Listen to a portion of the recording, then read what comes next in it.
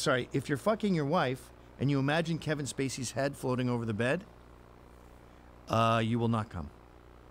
I've told this to many men, and they have come around and thanked me and said, dude, my marriage is better.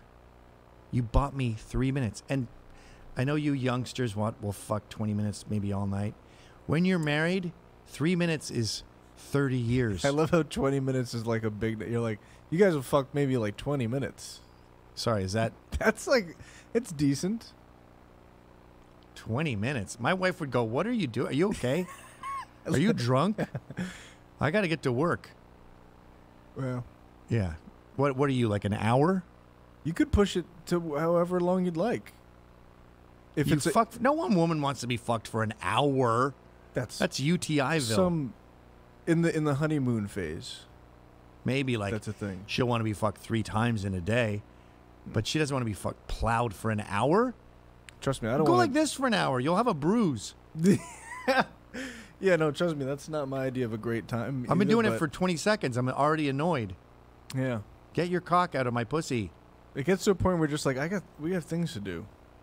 Well, that's drunk sex. Drunk sex, you're just like, shall, we? shall we stop? Right? Yeah. You try to point your toes and you have your calves hurt the next day from trying to eke out a, a load of roo. You never do that. That's a good tip. Point your toes? If you want to shoot quick, you point your toes. It tenses up all your your muscles, and you can. Pretty good. Pretty now quick. I have to think of you when I'm when you point when you do a little wife. plie. And by the way, his accent, no modern day Southerner talks this way. He's like doing a period piece, Lincoln style. Oh, what you want? You want me back. That's like a Southerner from like the Civil War. No modern American talks that way. I don't care That's where same with Dave from. Chappelle's Southern black voice. Yeah, man. Man, man. I'm from Tennessee a hundred years ago.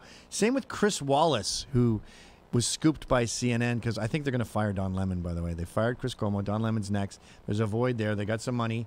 Chris Wallace performed very well for the left when he fried Trump with the Proud Boys shit. Mm. Twice he brought that up because he saw it hurt Trump. So he's clearly a lib.